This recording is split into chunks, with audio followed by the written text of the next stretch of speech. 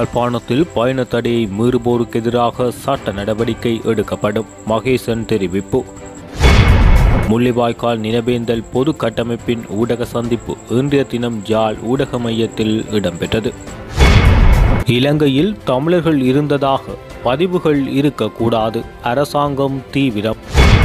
முள்ளிவாய்க்கால் பொது நினைவு தூபி இரவோடு இரவாக உடைப்பு.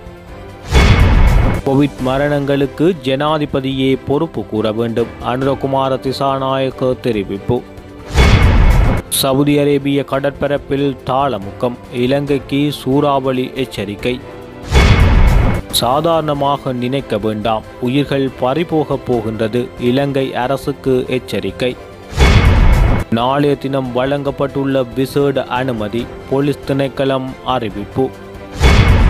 இனப்படுகொலையாளிகளாக இருந்த இலங்கை இராணுவம் திருடர்கள் என்னும் பட்டத்தை பெற்றுள்ளது. சுகாஸ் தெரிவிப்பு. யாழில் தலைமறைவாக இருந்த நான்கு இந்தியர்கள் அடையாளம்.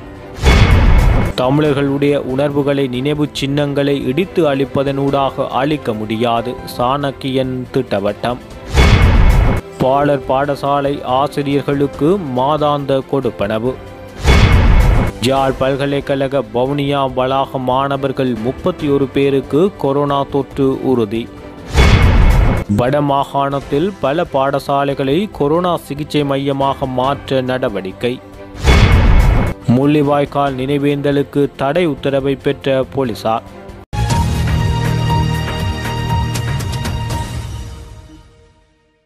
முள்ளிவாய்க்கால் நினைவேந்தல் இடம்பெறும் முள்ளிவாய்க்கால் கிழக்கு பகுதியில் உள்ள நினைவு முற்றத்தில் இருந்த நினைவு தூபி இன்று அதிகாலை சேதமாக்கப்பட்டுள்ளது. அத்துடன் நடுகை செய்வதற்காக கொண்டு வரப்பட்டிருந்த பாரிய நினைவுக்கல்லும் இரவோடு இரவாக காணாமல் ஆக்கப்பட்டுள்ளது. நேற்று மாலை ஆறு மணியளவில் பொது நினைவுகள் நடுகை செய்வதற்காக முள்ளிவாய்க்கால் பகுதிக்கு கொண்டு வரப்பட்டு இறக்கி வைக்கப்பட்டிருந்த நிலையில் போலீசார் இராணுவம் மற்றும் புலனாய்வாளர்கள் இணைந்து விசாரணைகளில் ஈடுபட்டதோடு நினைவுகள் நடுகை செய்ய முடியாது என தடை ஏற்படுத்தினார்கள். இதனைத் தொடர்ந்து இடவூறு இடவாக அப்பகுதி இராணுவத்தினரின் பூரண கட்டுப்பாட்டில் கொண்டு வரப்பட்டதோடு முள்ளிவாய்க்கால் முற்றத்துக்கு செல்லும் அனைத்து வீதிகளும் உள்நுழைய தடை விதிக்கப்பட்டது. இந்த நிலையில் இரவோடு இரவாக நினைவுகள் காணாமல் ஆக்கப்பட்டதோடு பொது நினைவு தூபியும் அடித்து உடைக்கப்பட்டுள்ளது. நினைவுகள் இருந்த இடம் தெரியாது. அகற்றி செல்லப்பட்டுள்ளதோடு பொது நினைவு தூபியும் உடைக்கப்பட்டுள்ளது. சுமார் இரண்டாயிரம் கிலோவுக்கு அதிகமான எடையை கொண்ட நினைவுகள் கனரக வாகனங்களை கொண்டு அகற்றி செல்லப்பட்டுள்ளது. இரவிரவாக அப்பகுதி முழுவதும் இராணுவம் குவிக்கப்பட்டிருந்ததாகவும் இராணுவ வாகனங்கள் சுற்றித் திரிந்ததாகவும் அயலில் உள்ள மக்கள் தெரிவித்துள்ளனர். உடைக்கப்பட்டுள்ள நினைவு தூபியை சூழ இராணுவ சப்பாத்து அடையாளங்களை ஒத்த அடையாளங்கள் காணப்படுவதாக தெரிவிக்கப்படுகின்றது. இனப்படுகொலையாளிகள் எனும் பெயரை பெற்றிருந்த இலங்கை இராணுவம் நேற்று முதல் திருடர்கள் எனும் பட்டத்தை தம்பசப்படுத்தியுள்ளதாக தமிழ் தேசிய மக்கள் முன்னணியின் ஊடக பேச்சாளரும் சட்ட ஆலோசகருமான சட்டத்தரணி கனகரத்தினம் சுகாஸ் தெரிவித்துள்ளார். நினைவேந்தலை அமைதியான முறையில் நடாத்துவதற்கு ஈழத்தமிழினம் தயாராகிக் கொண்டிருக்கிற நிலையில் வெந்த புண்ணிலே வேல் பாய்ச்சுவது போல அரச அதிகாரத்தினுடைய பக்கத்துணையோடு இனப்படுகொலையின் சாட்சியாக அமைதியாக உறங்கிக் கொண்டிருப்பவர்களின் அடையாளமாக அமைக்கப்பட்டிருந்த நினைவு தூபியினுடைய பாகங்கள் அகற்றப்பட்டு தமிழ் மக்களினுடைய இருப்பு கேள்விக்கிடமாக்கப்பட்டிருக்கிறது. நேற்றைய நாள் ஈழம் முழுவதுமே கட்டுப்பாடுகள் இறுக்கப்பட்டு கொரோனாவை தடுக்கின்றோம் என்ற போர்வையில் பாதுகாப்பு பலப்படுத்தப்பட்டிருந்தது. இந்த நிலையில் அதுவும் இந்த பிரதேசத்தில் போலீசாருடைய பாதுகாப்புக்கு மத்தியில் இராணுவத்தினரை தவிர வேறு எவருமே இந்த அநாகரிகமான செயலை மனித குலத்திற்கு ஒவ்வாத செயலை செய்திருக்க முடியாது. ஆகவே இந்த ஈனச் செயலுக்காக ஒரு அடையாளமாக இறந்த ஆத்மாக்களினுடைய அடையாளமாக அமைக்கப்பட்டிருந்த இந்த தூபியை உடைத்து அகற்றியதோடு மட்டுமல்லாமல் மரியாதைக்குரிய வணக்கத்துக்குரிய மத தலைவர்களால் அமைக்கப்படுவதற்காக கொண்டு வரப்பட்டிருந்த அந்த கல்லையும் தூக்கிச் சென்றிருக்கிறார்கள் இது சட்டத்தின் பிரகாரம் திருட்டு களவு. இந்த திருட்டை இலங்கை இராணுவமே செய்ததாக இந்த பிரதேசத்திலே வசிக்கின்ற மக்கள் தெரிவிக்கின்றார்கள். இதுவரை காலமும் இனப்படுகொலையாளிகள் என்ற பெயரை சூடி நின்ற இலங்கையினுடைய இராணுவம் நேற்றைய தினம் முதல் திருடர்கள் என்ற பெயரை புதிதாக வாங்கியிருக்கிறார்கள் ஆகவே இந்த செயலுக்கு எதிராக இலங்கையினுடைய இராணுவத்துக்கு பொறுப்பாக இருக்கக்கூடிய இராணுவ தளபதி அவர்களும் பாதுகாப்பு அமைச்சர் என்ற வகையிலே ஜனாதிபதி கோத்தபாய ராஜபக்ஷ அவர்களும் போலீசாருடைய பாதுகாப்புக்கு மத்தியில் எவ்வாறு இந்த அநியாயம் அரங்கேறியது என்பது பற்றி போலீஸ் மா அதிபரும் பதிலளிக்க வேண்டும். இங்கு நடைபெற்றிருப்பது ஈழத்தமிழர்களுக்கு எதிராக தொடர்ந்தேச்சியாக நடைபெற்று வருகின்ற கட்டமைக்கப்பட்ட இனப்படுகொலையினுடைய இன்னொரு அங்கம். பல்கலைக்கழகத்திலே தூபியை இடித்தீர்கள். தூபி புதிதாக மலர்ந்தது. வரலாறு தெரியாதவர்களுக்கும் வரலாறு பாய்ச்சப்பட்டது. இன்றைக்கு அரங்கேற்றி இருக்கின்றது இவற்றின் வாயிலாக ஒருபோதும் ஈழத் தமிழர்களினுடைய உணர்வெழுச்சியையோ விடுதலை உணர்வையோ இவர்களால் கட்டுப்படுத்த முடியாது. மாறாக விடுதலை தீயை வரலாறு தெரியாத சிறுவர்களுக்கும் குழந்தைகளுக்கும் எதிர்கால சந்ததிக்கும் கடத்துவதற்கே இப்படியான விடயங்கள் வழிவகுக்கும் என்பதை இவர்களுக்கு நாங்கள் சுட்டிக்காட்டுவதோடு இவற்றுக்கு எல்லாம் முடிவு கட்டப்பட வேண்டுமானால் எமது கட்சி அன்று தொட்டு வலியுறுத்தி வருவது போல உடனடியாக ஒரு சர்வதேச விசாரணை ஒன்று நடாத்தப்பட வேண்டும். அது மாத்திரம்தான் ஈழத்தமிழர்களுக்கு ஒரு தீர்வை தரும். இந்த சிலை உடைக்கப்பட்டிருப்பது இந்த தூபி உடைக்கப்பட்டிருப்பது என்னத்தை சுட்டிக்காட்டுகின்றது என்றால் ஈழத்தமிழர்களுக்கு உயிரோடு மட்டுமல்ல இறந்த பின்பும் கூட நிம்மதியாக இளைப்பாற முடியாது என்பதைத்தான். இந்தியாவில் இருந்து வந்து யாழ்ப்பாணத்தில் தலைமறைவாகி இருந்த மற்றொரு குடும்பம் போலீசாரால் கண்டுபிடிக்கப்பட்டுள்ளது. அதன்படி யாழ்ப்பாணம் குருநகர் பகுதியில் தங்கியிருந்த ஒரே குடும்பத்தைச் சேர்ந்த நான்கு பேர் அவர்கள் தங்கியிருந்த வீட்டில் தனிமைப்படுத்தப்பட்டுள்ளனர். போலீஸ் ஊடக பேச்சாளரும் பிரதி போலீஸ் மாதிபருமாகிய அஜித் ரோஹன இதனை தெரிவித்துள்ளார். முப்பத்தி நான்கு வயதுடைய பெண்ணொருவர் அவரின் ஒன்பது மற்றும் ஐந்து வயதுடைய இரண்டு ஆண் பிள்ளைகள் மற்றும் குறித்த பெண்ணின் அறுபத்தி ஒரு வயதுடைய தாய் ஆகியோரே இவ்வாறு கண்டுபிடிக்கப்பட்டுள்ளதாக போலீஸ் ஊடக பேச்சாளர் தெரிவித்துள்ளார். இவர்கள் படகு ஊடாக மன்னார் பகுதிக்கு வந்து பின்னர் ஜாழ்ப்பாணம் குருநகர் பகுதிக்கு சென்றுள்ளதாக தெரிவிக்கப்படுகின்றது. இந்த நிலையில் அவர்களுக்கு இன்று பிசிஆர் பரிசோதனைக்கு உட்படுத்தப்பட உள்ளனர் எனவும் ஜாழ்ப்பாண போலீசார் மேலதிக விசாரணைகளை மேற்கொண்டு வருவதாகவும் தெரிவிக்கப்பட்டுள்ளது. யாழ்ப்பாணத்தில் பயணத்தடையை மீறி செயற்படுவோருக்கு எதிராக சட்ட நடவடிக்கை எடுக்கப்படும் என யாழ் மாவட்ட அரசு அதிபர் மகேசன் தெரிவித்துள்ளார். எதிர்வரும் மூன்று நாட்கள் நடைமுறைப்படுத்தப்படவுள்ள பயண கட்டுப்பாடு தொடர்பில் கருத்து தெரிவிக்கும் போது அவர் இதனை தெரிவித்துள்ளார். அவர் மேலும் தெரிவிக்கையில் அரசாங்கத்தினால் விடுத்துள்ள விதிமுறைகளையும் சுகாதார வழிமுறைகளையும் மீறுவோருக்கு எதிராக சட்ட நடவடிக்கைகள் எடுக்கப்பட்டு வருகின்றன. ஆகவே இந்த சட்ட நடவடிக்கைகள் எடுக்கப்படுவதிலிருந்து உங்களை நீங்கள் அந்த அசௌகரியத்திலிருந்து தவிர்த்து கொள்வது உங்களுடைய செயலில் தான் இருக்கின்றது. ஆகவே இது ஒரு இக்கட்டான காலகட்டம். மிகவும் துரிதமாக அநேகமான மருத்துவ விடுதிகள் நிரம்பி வருகின்றன. ஆகவே உங்களுடைய இந்த கட்டுப்பாடான செயற்பாடு மூலம் இவ்வாறான அசௌகரிய நிலைமைகளையும் சட்ட நடவடிக்கைகளையும் தவிர்த்து கொள்ளும்படி நான் பொதுமக்களை வினயத்துடன் கேட்டுக்கொள்கின்றேன். முள்ளிவாய்க்கால் நினைவேந்தல் பொது கட்டமைப்பின் ஊடக சந்திப்பு இன்றைய தினம் ஜாழ் ஊடக அமையத்தில் இடம்பெற்றது. தவ திரு பீலன் சுவாமிகள் மற்றும் அருத்தந்தை பயோ ஜெவரட்னம் அடிகளார் மற்றும் பனபிதா செல்வன் ஆகியோர் இவ் ஊடக சந்திப்பில் கலந்து கொண்டிருந்தனர். முள்ளிவாய்க்கால் நினைவேந்தல் வடக்கு கிழக்கு பொது கட்டமைப்பு ஏற்பாடு செய்திருக்கின்ற முள்ளிவாய்க்கால் நினைவேந்தல் நிகழ்வு எதிர்வரும் மே மாதம் பதினெட்டாம் திகதி செவ்வாய்க்கிழமை திட்டமிட்டபடி நடைபெற இருக்கின்றது. அந்த விதத்திலே ஈழத்தமிழர்களுடைய வரலாற்றிலே நடைபெற்றிருக்கக்கூடிய இந்த நூற்றாண்டினுடைய மிக பெரும் இன அழிப்பு இனப்படுகொலை இரண்டாயிரத்தி ஒன்பதாம் ஆண்டு மே மாதம் உள்ளிட்ட கடைசி மாதங்களிலே முள்ளிவாய்க்காலிலே நடந்தேறி இருக்கிறது அந்த இன அழிப்புக்கு எதிராக அநீதிக்கு எதிராக நீதி கேட்டு ஈழத்தமிழினம் போராடி வருகின்றது. இந்த இனப்படுகொலைக்கு சர்வதேச விசாரணை வேண்டும். ஸ்ரீலங்கா அரசை சர்வதேச குற்றவியல் நீதிமன்றத்திலே பாரப்படுத்த வேண்டும் என்ற பிரதான வேண்டுகோளை முன்வைத்து அனைத்து தரப்பினரும் முயற்சித்து கொண்டிருக்கின்ற இந்த நேரத்திலே இந்த கொடூரமான மிலேச்சத்தனமான இறுதி யுத்தத்திலே கொல்லப்பட்ட எங்களுடைய உறவுகள் அவர்களுடைய ஆத்ம சாந்திக்காகவும் அந்த உறவுகளை இழந்து தவிக்கின்ற அனைத்து எங்களுடைய உறவுகளுடைய மன ஆறுதலுக்காகவும் வருடா வருடம் இறந்தவர்களை நினைவுகூறுகின்ற ஒரு உரிமை அடிப்படை உரிமை அந்தந்த மதங்கள் அடிப்படையிலும் இறந்தவர்களை நினைவு கூறுகின்ற முறை இருக்கின்றது.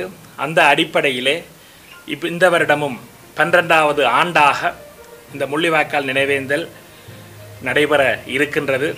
கொரோனா காலப்பகுதியிலே நாங்கள் வாழ்ந்து கொண்டிருக்கின்ற காரணத்தினாலே சுகாதார நடைமுறைகளை பேணி இந்த முள்ளிவாய்க்கால் நினைவேந்தல் அங்கு நடைபெற்றாலும் எங்களுடைய அனைத்து உறவுகளையும் உங்கள் உங்கள் வீடுகளிலேயே இருந்தவாறு நீங்கள் இந்த முள்ளிவாய்க்கால் நினைவேந்தலிலே பங்கு பெற்ற வேண்டும். காலையிலிருந்து முடியுமென்றால் காலை நேர உணவு தவிர்ப்பை மேற்கொண்டு மதியத்திலே உப்பில்லா கஞ்சி எங்களுடைய இனம் இறுதி யுத்தத்திலே ஒரே ஒரு உணவாக இருந்திருக்கக்கூடிய அந்த கஞ்சியை முள்ளிவாய்க்கால் கஞ்சியை நாங்கள் எங்களுடைய வீடுகளுக்குள்ளேயே இருக்கக்கூடிய இளம் தலைமுறையினருக்கு சிறுவர்களுக்கு பரிமாறி இந்த இனத்தினுடைய எங்களுடைய இனத்தினுடைய வேதனையையும் வடுக்களையும் நடந்த சம்பவங்களையும் அதற்காக நாங்கள் போராட வேண்டிய ஒரு கட்டத்தில் இருப்பதையும் இளம் தலைமுறைக்கு எதிர்கால தலைமுறைக்கு எடுத்துச் சொல்லக்கூடிய விதத்திலே அந்த முள்ளிவாய்க்கால் கஞ்சியை உலகமெங்கும் வாழுகின்ற அனைத்து உறவுகளும் பரிமாறிக்கொள்ள வேண்டும் என்று அன்பாக கேட்பதோடு அதே போல மாலையிலே ஆறு மணிக்கு ஆலயங்கள் தேவாலயங்கள் என்று அனைத்து இடங்களிலும் மணியோசையை எழுப்பி அதை தொடர்ந்து அகவணக்கம் செலுத்தி அதைத் தொடர்ந்து இல்லங்களிலே மதில்களிலே தீபங்களை ஏற்றி வீட்டு வாசல்களிலே தீபங்களை ஏற்றி பொது இடங்களிலே சனசமூக நிலையங்களிலே ஆலயங்களிலே என்று அனைத்து இடங்களிலும் அந்த தீபங்களை ஏற்றி நாங்கள் எங்களுடைய இறந்த உறவுகளை நினைவு கூறுகின்ற அந்த நிகழ்வை அனைவரும் ஒன்று சேர்ந்து ஒருமித்ததாக செய்ய வேண்டும் என்று சமயத் தலைவர்களாகிய நாங்கள் அனைவரும் அனைத்து உறவுகளையும் அன்பாக கேட்டுக்கொள்கின்றோம். இது ஆத்மார்த்தமாக நாங்கள் செய்யப்பட வேண்டிய ஒரு நிகழ்வு. அந்த விதத்திலே நாங்கள் அனைவரும் ஆத்மார்த்தமாக இருந்து இந்த முள்ளிவாய்க்கால் நினைவேந்தலை இந்த மே பதினெட்டாம் திகதி அன்றாவது எங்களுடைய இனத்துக்காக நாங்கள் அனைவரும் இதை செய்ய வேண்டும் என்று மீண்டும் நாங்கள் வலியுறுத்தி கேட்டுக்கொள்கின்றோம். நன்றி. உயிரிழந்த உறவுகளை நினைவு கூறும் முள்ளிவாய்க்கால் நினைவேந்தல் தினத்தை தற்போதைய கொரோனா தொற்றை காரணம் காட்டி தடுக்கும் முகமாக அரசாங்கம் நடவடிக்கைகளை மேற்கொண்டு வருகின்றமையினை வன்மையாக கண்டிப்பதாக தமிழ் தேசிய கூட்டமைப்பின் பாராளுமன்ற உறுப்பினர் சார்ல்ஸ் நிர்மலநாதன் தெரிவித்துள்ளார். மன்னாரில் உள்ள அலுவலகத்தில் இன்று இடம்பெற்ற ஊடக சந்திப்பின் போது அவர் இதனை தெரிவித்துள்ளார். யுத்தத்தில் உயிரிழந்த மக்களுக்கு மே மாதம் பதினெட்டாம் திகதி முள்ளிவாய்க்காலில் நினைவு கூர்ந்து உறவினர்கள் நினைவேந்த நிகழ்வை மேற்கொள்வது வழமை ஆனால் தற்போது உள்ள அரசாங்கம் யுத்தத்தினை வழிநடத்தி எமது மக்களை கொன்ற அரசாங்கம் தற்போது ஆட்சியில் உள்ளது. அந்த அரசாங்கம் தமிழ் மக்களை முற்றுமுழுதாக அடக்கி இலங்கையில் தமிழர்கள் என்ற ஒரு இனம் இருந்ததாக ஒரு பதிவுகள் இருக்கக்கூடாது என்ற வகையில் நீண்ட கால திட்டத்தில் செயல்பட்டு வருவதாக குற்றம் சாட்டியுள்ளார். அந்த வகையில் தற்போது எதிர்வரும் பதினெட்டாம் திகதி யுத்தத்தில் உயிரிழந்த உறவுகளை நினைவு கூறும் முள்ளிவாய்க்கால் நினைவேந்தல் தினத்தை தற்போதைய கொரோனா தொற்றை காரணம் காட்டி குறித்த நிகழ்வை தடுக்கும் முகமாக நடவடிக்கைகளை அரசாங்கம் மேற்கொண்டு வருவதாகவும் நேற்று இரவு மத குருக்கள் நினைவுக்கள் ஒன்றை அப்பகுதிக்கு கொண்டு சென்றபோது இராணுவம் குவிக்கப்பட்டதோடு அங்கு சென்றவர்களும் அச்சுறுத்தப்பட்டனர். இந்த நிலையில் நேற்று இரவு முள்ளிவாய்க்கால் நினைவேந்தல் மேற்கொள்ளும் பகுதியில் உள்ள தீபமேற்றும் கல்லினை உடைத்து சேதப்படுத்தியுள்ளனர். மிகவும் ஒரு அராஜகமான இனத்தின் ஒரு மனதை மிகவும் நோக்கடிக்கக்கூடிய ஒரு செயல்பாட்டில் தற்போதைய அரசாங்கமும் பாதுகாப்பு துறையும் ஈடுபட்டு வருவதாக குற்றம் சாட்டியுள்ளார். குறித்த நடவடிக்கைகளை வன்மையாக கண்டிப்பதாகவும் சர்வதேச விழுமியங்களுக்கு அப்பாற்பட்ட வகையில் இந்த செயற்பாடுகள் இடம்பெற்று வருவதாகவும் தெரிவித்துள்ளார். தொடர்ச்சியாக எமது மக்களை அடக்குமுறைகளுடன் ஆள நினைப்பதற்கு முழுமையான நடவடிக்கைகள் மேற்கொள்ளப்பட்டு வருவதை தான் வன்மையாக கண்டிப்பதாகவும் முள்ளிவாய்க்கால் நினைவேந்தல் மட்டுப்படுத்தப்பட்ட அளவில் சுகாதார நடைமுறைகளுடன் இடம்பெறும் என அவர் இதன்போது தெரிவித்துள்ளார். முள்ளிவாய்க்கால் பகுதியில் நினைவேந்த நிகழ்வை நடாத்துவதற்கோ மக்கள் கூடுவதற்கோ முல்லைத்தீவு போலீசார் நீதிமன்ற தடை உத்தரவை பெற்றுள்ளார்கள். கொரோனா நிலைமையை கருத்தில் கொண்டு பதினாறாம் திகதி தொடக்கம் இருபத்தி ரெண்டாம் திகதி வரை முள்ளிவாய்க்கால் பகுதியில் எந்த நிகழ்வும் நடாத்தக்கூடாது எனவும் மக்கள் கூடக்கூடாது எனவும் பொது இடத்தில் வைத்து நினைவு கூறக்கூடாது என கோரி முல்லைத்தீவு போலீசார் நீதிமன்றத்தில் வழக்கு தாக்கல் செய்து அதற்கான அனுமதியை பெற்றுள்ளார்கள். ரவிகரன் ஈஸ்வரி பீட்டர் இளஞ்செழியன் க. விஜிந்தன் ச. விமலேஸ்வரன் ஆகியோரின் பெயர்கள் குறிப்பிடப்பட்டு இந்த நீதிமன்ற தடை உத்தரவு வழங்கப்பட்டுள்ளது. ஏஆர் நானூற்றி பதினெட்டின் கீழ் இருபத்தி ஒன்று வழக்கு இலக்கத்தின் கீழ் முல்லைத்தீவு மாவட்ட நீதவான் நீதிமன்றம் இந்த தடை உத்தரவை பெற்று உரியவர்களிடம் வழங்க உள்ளதாக போலீசார் தெரிவித்துள்ளனர். தமிழர்களுடைய உணர்வுகளை நினைவு சின்னங்களை இடித்து அழிப்பதனூடாக அழிக்க முடியாது என தமிழ் தேசிய கூட்டமைப்பின் மட்டக்களப்பு மாவட்ட பாராளுமன்ற உறுப்பினர் ரா சாணக்கியன் தெரிவித்துள்ளார். முள்ளிவாய்க்காலில் அமைக்கப்பட்டிருந்த பொது தூபி இனம் தெரியாத நபர்களினால் நேற்று இரவு சேதமாக்கப்பட்டதாகவும் இந்த நிலையில் இது குறித்து வெளியிட்ட கண்டன அறிக்கையில் சாணக்கியன் இதனை தெரிவித்துள்ளார். நேற்று தினம் இடம்பெற்ற சம்பவம் இலங்கை இராணுவத்தினால் மேற்கொள்ளப்பட்டது என நாங்கள் சந்தேகப்படுவதாகவும் முள்ளிவாய்க்காலிலே கொல்லப்பட்ட உறவுகளின் நினைவுச் சின்னங்களை அளித்திருப்பதாக அங்கிருந்து அகற்றப்பட்டிருப்பதாக தகவல்கள் வெளியாகியது. இந்த அரசாங்கம் தொடர்ந்தும் தமிழர்களுடைய வரலாறுகளை தமிழர்கள் நினைவு கூறும் வாய்ப்பினை கூட இல்லாமலாக்கும் ஒரு அரசாங்கம். ஜனாதிபதி தேர்தலின் பின்னர் புதிய அரசாங்கம் ஒன்று உருவானதன் பின்னர் சாதாரணமாக ஒரு உயிரிழந்த உறவை கூட அதாவது சில சில கொலைகளாக கூட இருக்கலாம் படுகொலைகளாகவும் இருக்கலாம். மட்டக்களப்பு மாவட்டத்தில் இடம்பெற்ற சில படுகொலைகள் விசேடமாக. என்னுடைய பெரியப்பாவும் படுகொலை செய்யப்பட்டார் எனவும் அவருடைய நினைவேந்தலை கூட. அனுஷ்டிக்க என்னை தடை செய்து நீதிமன்ற உத்தரவினூடாக. எனக்கு தடை விதிக்கப்பட்டது என தெரிவித்துள்ளார். அந்த வகையில் கடந்த ஒரு சில மாதங்களுக்கு முன்னர் ஜாழ்ப்பாண பல்கலைக்கழகத்தில் கூட இவ்வாறான ஒரு சம்பவம் இடம்பெற்றது. ஆனால் அதை அந்த பல்கலைக்கழக உபவேந்தரே மீண்டும் காட்டி முடித்தார். உண்மையிலே தமிழர்களுடைய உணர்வுகளை நீங்கள் இவ்வாறான நினைவு சின்னங்களை இடித்து அழிக்க முடியாது எனவும் நீங்கள் இடிக்கும் ஒவ்வொரு நினைவு சின்னமும் தமிழர்களுடைய மனங்களில் ஒரு புதிய உணர்வை ஏற்படுத்தும் ஒரு சம்பவமாகத்தான் பார்ப்பதாக தெரிவித்துள்ளார். நீங்கள் எவ்வாறு தான் எங்களுடைய உணர்வுகளை தடுக்க முயற்சித்தாலும் நாங்கள் நடந்த இந்த விடயத்தினையும் மறக்க மாட்டோம் எனவும் இந்த நாட்டில் தமிழர்களுக்கு எதிராக இடம்பெற்ற எந்த அநீதியையும் நாங்கள் மறக்க மாட்டோம் என தெரிவித்துள்ளார். விசேடமாக ரெண்டாயிரத்தி ஒன்பதாம் ஆண்டு எத்தனையோ ஆயிரக்கணக்கான உறவுகளை நாங்கள் இழந்துள்ளோம். அந்த உறவுகள் உயிரிழந்த திகதியோ உயிரிழந்த இடமோ எங்களுக்கு தெரியாத நிலையில் கூட அனைவரையும் நினைவு கூர்கின்றோர் இடமாக அந்த நினைவு சின்னத்தினை நாங்கள் கடந்த வருடங்களில் பயன்படுத்தியதாக தெரிவித்துள்ளார். இவ்வாறான செயலை மிக வன்மையாக கண்டிப்பதாகவும் அதேபோல அரசாங்கத்துடன் இணைந்திருக்கின்ற எங்களுடைய தமிழ் பிரதிநிதிகள் இது தொடர்பாக உங்களுடைய கண்டனத்தினை நீங்கள் தெரிவிக்க வேண்டும். இன்று நீங்கள் அரசாங்கத்துடன் இருந்தாலும் உங்களை தெரிவு செய்தது தமிழ் மக்கள். உங்களை தெரிவு செய்த மக்களுடைய உறவுகள் கூட அந்த வாரத்திலே அந்த மாதங்களிலே அந்த இறுதி யுத்தத்திலே நிச்சயமாக உயிரிழந்திருப்பார்கள். உங்களுக்கும் பொறுப்பு உள்ளது. இவர்களை நினைவு கூர்வதற்கும் நினைவு தூபிகளை இடிக்காமல் பாதுகாக்கின்ற முழு பொறுப்பு உள்ளது. இந்த அரசாங்கம் தன்னுடைய இறுதி ஊர்வலத்தில் பயணிக்க ஆரம்பித்து விட்டது என்பதை நான் இந்த இடத்தில் சொல்லிக்கொள்ள விரும்புவதாக தெரிவித்துள்ளார். பாராளுமன்ற தேர்தல் இடம்பெற்று ஒரு பேடத்துக்குள்ளே தன்னுடைய இறுதி ஊர்வலத்திலே பயணிக்க இந்த அரசாங்கம் ஆரம்பித்து விட்டது என தெரிவித்துள்ளார். நாளைய தினம் முதல் எதிர்வரும் பதினேழாம் திகதி வரை மருந்தகங்களை மட்டும் திறப்பதற்கு அனுமதி வழங்கப்பட்டுள்ளதாகவும் மத்திய விற்பனை நிலையங்கள் ஊடாக வியாபார நடவடிக்கைகளை முன்னெடுக்க அனுமதி இல்லை என போலீஸ் ஊடக பேச்சாளர் பிரதி போலீஸ் மா அதிபர் அஜித் ரோஹன தெரிவித்துள்ளார்.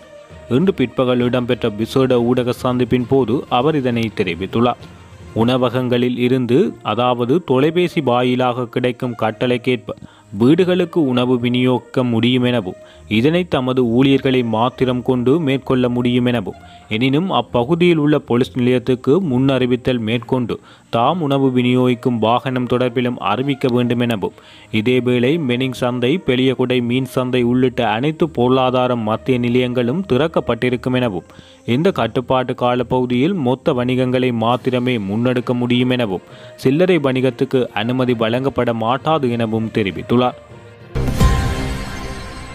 நாட்டின் உண்மை நிலைமையை மறைப்பதால் செப்டம்பர் மாதத்தில் ஐந்து லட்சம் தொற்றாளர்கள் இலங்கையில் அடையாளம் காணப்படலாம் எனவும் மரணங்கள் அதிகரிக்கலாம் எனவும் வாஷிங்டன் பல்கலைக்கழகம் வெளியிட்ட அறிக்கையின் உண்மைத்தன்மை அடங்கியுள்ளது என மருந்துகள் மற்றும் சுகாதார நிர்வாகம் தொடர்பான வைத்திய நிபுணர் பேராசிரியர் சஞ்சய பெரேரா தெரிவித்துள்ளார்.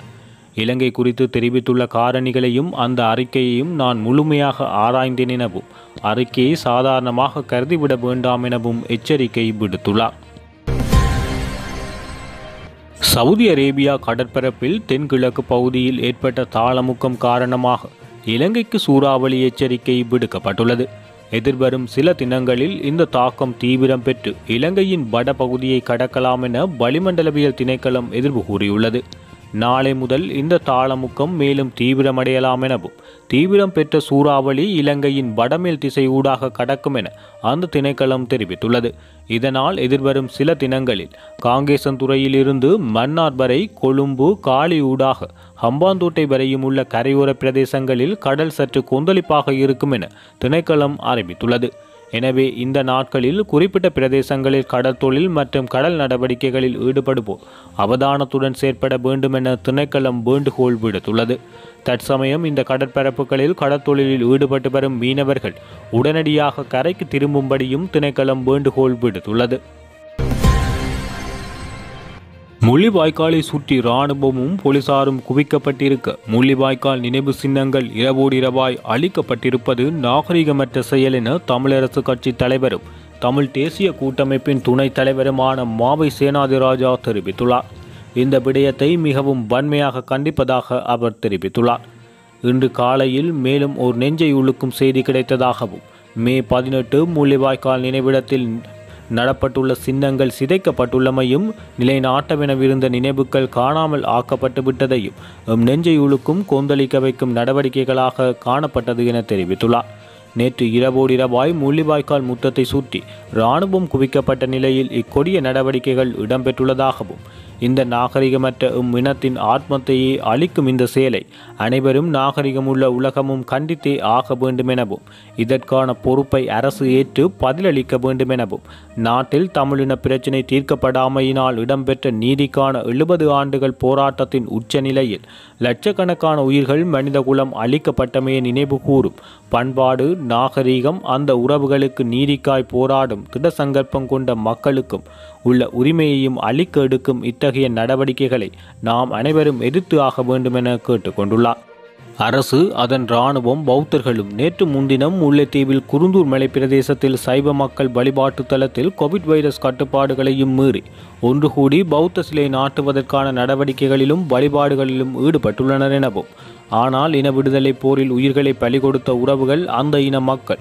அவ்வுறவுகளை நினைவுகூரும் உரிமை பௌத்த சிங்கள அரசுகளினால் மறுக்கப்படுவது மட்டுமல்ல அந்த நினைவுகூரும் மையங்களும் நினைவிடங்களும் அளிக்கப்படுவதாகவும் தெரிவித்துள்ளார். எனவே நாம் இந்நாளில் தொடர்ந்து மனித குலத்தின் தமிழ் மக்களின் பண்பாடு நாகரிகத்தை நிலைநாட்டுவோம் எனவும் அளிக்கப்பட்ட நினைவிடத்தை நினைவு சின்னங்களை மீள அமைப்போம் எனவும் இன விடுதலையை நிலைநாட்டுவோம் எனவும் திடசங்கல்பம் மேற்கொள்ள வேண்டும் என தெரிவித்துள்ளார். கோவிட் தொற்றால் ஏற்படும் அனைத்து மரணங்கள் மற்றும் அனைத்து கண்ணீருக்கும் ஜனாதிபதி கோட்டபாய ராஜபக்ச பொறுப்பு கூற வேண்டும் என மக்கள் விடுதலை முன்னணியின் தலைவர் பாராளுமன்ற உறுப்பினருமான அனுரகுமார திசாநாயக்க தெரிவித்துள்ளார். மக்கள் விடுதலை முன்னணியின் தலைமையகத்தில் நேற்று இடம்பெற்ற செய்தியாளர் சந்திப்பில் அவர் இதனை தெரிவித்துள்ளார். நாட்டில் கோவிட் பரவும் நிலைமையில் கட்டாயம் கடுமையான பயண கட்டுப்பாடுகள் விதிக்கப்பட வேண்டும் எனவும் தற்போதுள்ள சுகாதார செயலணிக்குழு மறுசீரமைக்கப்பட வேண்டும் எனவும் இந்த விடயம் சம்பந்தமாக ஏற்கனவே பணிகளை முன்னெடுத்து வந்த மருத்துவர் அனில் ஜாசிங் பாபா பலி கவடன ஜெருவன் பண்டார போன்றவர்கள் இந்த குழுவில் இணைக்கப்பட வேண்டும். தற்போது நாட்டின் கோவிட் வைரஸ் கட்டுப்பாட்டு நடவடிக்கைகள் தனி அரசியல் அதிகாரத்திடம் சிக்கியுள்ளது. கோவிட் வைரஸ் பரவலை கட்டுப்படுத்த எதிர்க்கட்சிகளின் உதவியை பெற முடியாது என்றால் குறைந்தது அரசாங்கத்துக்குள் இருக்கும் அரசியல் தலைவர்கள் அடங்கிய கூட்டான அரசியல் செயற்பாடுகள் முன்னெடுக்கப்பட வேண்டுமென அனுரகுமார திசாநாயக்க இதன்போது குறிப்பிட்டுள்ளார்.